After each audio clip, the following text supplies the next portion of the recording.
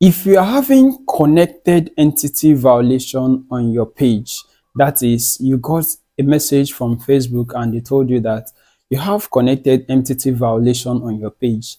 This video is going to guide you on the cause of this violation and what I'm going to teach you on this video is what is going to solve it for you. So most of you, you have a profile that you use to manage many pages. Some have up to two to three pages that they are managing. But then when you come to this profile, you will see that the profile is managing, that is managing these pages is actually a professional mode profile.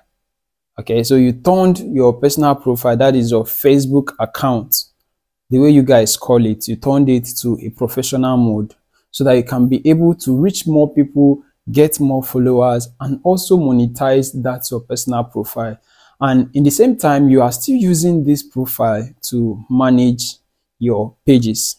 So now what you are doing is that you are using a page to manage a page. Okay, so this is what you are doing. You can monetize your profile and you can monetize your page.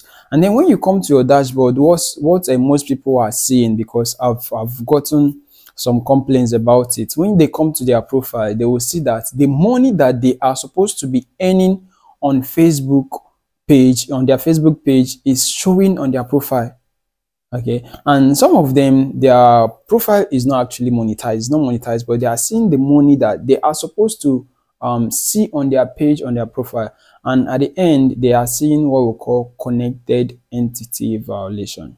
See on on facebook on this space there are some problems that you run into that will spin your head. You you look for solution. You go find solution tire. You will never see because even the people you are seeking the solution from, they don't know what it is. So if you have a, a page that you are managing with your professional mode, this is what you are going to do. The number one is first is either you create another profile, another separate Facebook profile and transfer that page to that profile and manage it, or you turn off your professional mode.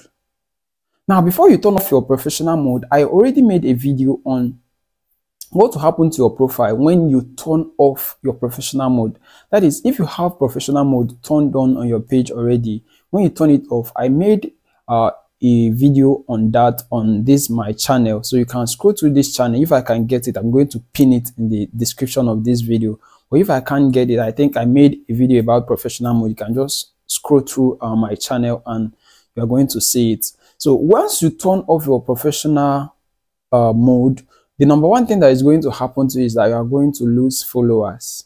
And also, if you have some uh, monetization, some views on your page, that is that was before when uh, Facebook showed you that this is the uh, amount of views that you have on your page toward monetization. When we we are still hustling for 60,000 minutes that we need to monetize uh, a Facebook page. So this thing is going to disappear and you're going to lose some followers. And also you also be boxed from crossing the 5,000 uh, followers and friends mark.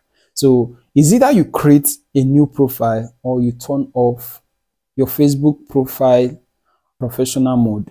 So when you do this, this connected entity stuff is going to go away. This is the primary cause of this violation on pages. Okay, it can also be caused by maybe the setup of the payout account and the admins that are managing the page. But this is the primary cause. Most people don't know this. You know, when we say on this page, there are things that you need to seek right advice, right information from the right people because you, you may even go ahead to pay people to solve this and at the end they will come back to nothing. So if this thing appeared on your page go ahead and implement what i just taught you now and it's going to go off. But mind you before turning off your professional mode think twice.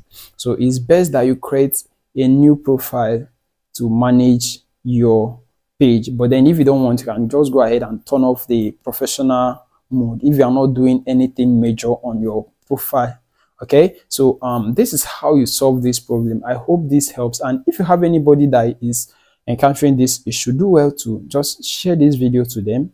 Let them watch it and implement it. And that connected entity uh, something is going to go away. So i hope this video helps you. Till i come your way next time remember keep creating